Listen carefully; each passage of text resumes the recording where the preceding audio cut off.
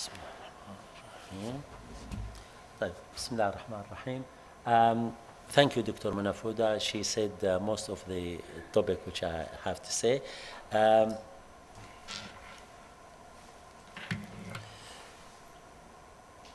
It's, it's supposed to be debate, but uh, yesterday I uh, wasn't happy with the debate because uh, people were showing their own experience. The debate it shows what uh, people should. Um, uh, next uh, uh, of, on the debate is Dr. Nizar Naqshbandi, and uh, we are on mutual uh, agreement, so not much of uh, debate will be. Um, kyphoplasty is uh, used for uh, mainly osteoporotic vertebral compression fractures. It can be used, uh, these fractures are either primary or secondary osteoporosis. It can be used also in uh, other uh, indications like in uh, fractures due to multiple myeloma, metastasis, and trauma in elderly.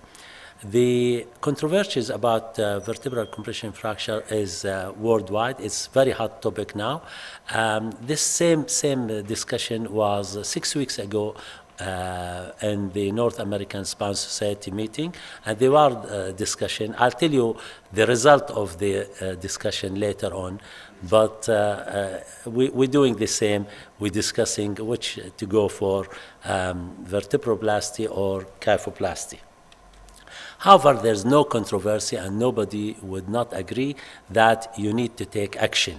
And this action, and the minimum, you need to take medical treatment for osteoporosis, you need to diagnose the patients, you need to pick them up early, you need to initiate the treatment, uh, you have to tell the patient about adequate uh, sun exposure, you have to restore their vitamin D level, especially in this country, as we have found that most uh, females and even most uh, males, even uh, most medical staff have uh, low vitamin D level, and uh, you have to uh, advise them about exercise and healthy lifestyle. As uh, Dr. Mona mentioned, uh, this uh, vertebral osteoporotic fracture affect the quality of life. The patient, when he's elderly, he may have many medical problems. He does not want one more to uh, increase of his uh, difficulties in life. Um, what is important that not all vertebral fractures are acutely uh, presenting, and uh, Dr. Muna stressed on that. Uh, up to 50% are not diagnosed initially, and uh, the controversy is: Do you need to treat these fractures when you just see them? Of course, you need to give them medical treatment, but do you need to do invasive procedures? If we diagnose a painless vertebral compression fracture, most people say yes, uh, be, even if it is asymptomatic, because otherwise, if you have more than one fracture, especially in the thoracic spine, uh, you're going to have reduced lung capacity, and that on the long run will affect the patient. The um, impact of uh, uh, osteoporotic vertebral fracture on quality of life is great, especially when the patient have acute fracture and uh, 40% of the patients will present as acute. They are in severe pain. They're not happy during daytime, nighttime. They cannot sleep. They sleep in sitting. You give them large amount of analgesics. They're still uh, not happy. Uh, they're still in pain. And um, uh, we know that because this is fracture. We have we we telling we treating like if we treat the fracture uh, in other area than spine by analgesic alone without immobilizing it, it will continue to be painful until it is sticky or it is united. So are invasive procedures really required? They're required if we think for pain relief and also they're required to restore anatomy as much as possible. The pain relief, of course, uh, some people will say of, we can uh, obtain pain relief by strong analgesic, bed rest, spinal orthosis, physiotherapy, modification of life. But all these, if we consider them one by one, they have negative impact on the quality of life and on the general health. So we, we have to, uh, yani, or can use them, but we, we have to consider that they're not the ideal solution. The we need immediate and sustained pain relief, and this is important. And uh, fortunately, this can be achieved by both uh, uh, kyphoplasty and uh, vertebroplasty.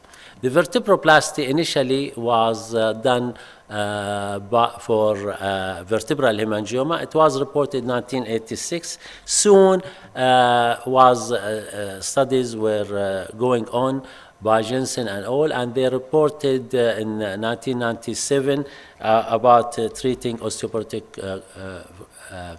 uh, compression fractures by vertebroplasty. However, uh, again and again, uh, there are uh, numerous reports in the literature about advantages, disadvantages. Some of the reports is uh, uh, complications, very serious, but it's very minimal and only uh, one or few, which is the current uh, cement pulmonary fatal embolism.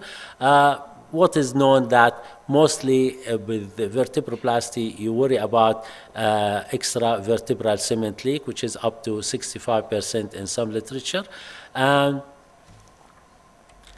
that's why kyphoplasty came in in uh, time to do some procedure in which this cement does not leak, and if it does not leak, you uh, don't worry about the uh, possible uh, complications. So it's considered kyphoplasty a refined technique of vertebroplasty. Also, it is minimally invasive procedure. Uh, however, uh, according to the recommendation, ideally patients should stay uh, one night at hospital. You need to give during procedure more analgesic, more sedation. If we'll uh, argue between me and Dr. Nizar if this procedure, kyphoplasty, is safer and if it can give more benefits. Um, in theory, uh, we, this is we're pushing a, a, a, a trocar through the pedicle, exactly the same. Uh, instead of injecting cement immediately, which has to be uh, uh, somewhat uh, low viscosity, we inflate a balloon. In this balloon, the also in theory has uh, advantage of elevating the upper uh, vertebral end plate and elevating the anterior border of the vertebra. Uh, this is uh, a, a, a demonstration by the company about the this is osteoporotic fracture caused anterior depression of the wall and the superior uh, wall Uh, the balloon inflated it made a void this void uh, injected with the cement. So it's uh, unlikely that this cement will leak outside. And also in theory we have restored the height of the vertebra. And if we've done that we've relieved the patient pain and uh, we've improved patient uh, lifestyle.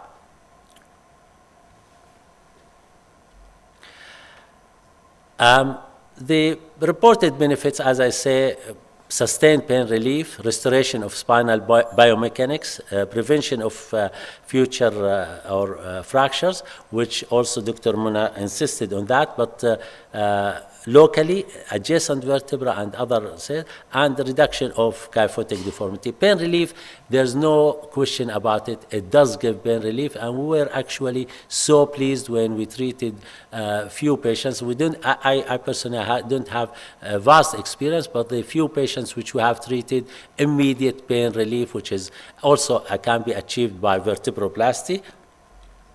Uh, the prevention of further fractures, the literature insists on that. Um, also, the patients which we have injected, they didn't, at least did not give, come to us with further vertebral fracture because, of course, we started them on medical treatment. Um, restoration of spinal biomechanics because once we have a vertebral fracture, the center of gravity moves anterior to the vertebra, so there's uh, more likelihood that even um, uh, next uh, or recent uh, further trauma will fracture other vertebra. One minute. Yeah, and uh, if uh, kyphotic deformity uh, left untreated, it, they will cause general kyphosis of the patient. So recently, uh, some papers say that if we compare both, uh, then the uh, uh, kyphoplasty will give uh, better results as correction of kyphosis and less cement leakage. The less side effects then are invasive procedures really required? Yes, but we still need more powerful evidence that we have to treat the uh, painless uh, vertebra, which you choose vertebroplasty or kyphoplasty. Kyphoplasty appears to have some advantages over the vertebroplasty, but also we need uh, evidence-based clinical guidelines. Thank you very much.